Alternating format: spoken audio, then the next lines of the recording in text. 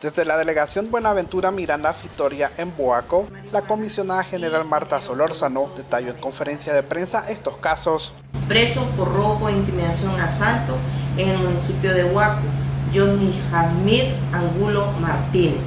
Tres presos por robo con fuerza en el municipio de Camuapa, Kevin Adolfo Alvarado, Altrix Soy Murillo Corea y Paulo José Lescano Borges. Este informe, que es del 21 al 28 de noviembre, están los delitos de atentar contra la vida y dignidad de la mujer, además abastecedores de droga.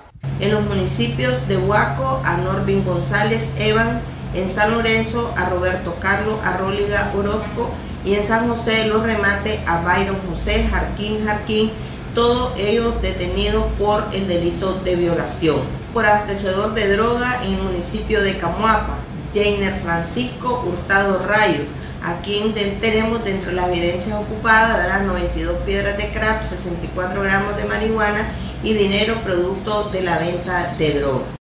Estas ocho personas y evidencia ahora están siendo procesadas por las autoridades competentes para su enjuiciamiento. Con imágenes de Henry Mejía, de Boaco, Alexander Acevedo, TV Noticias.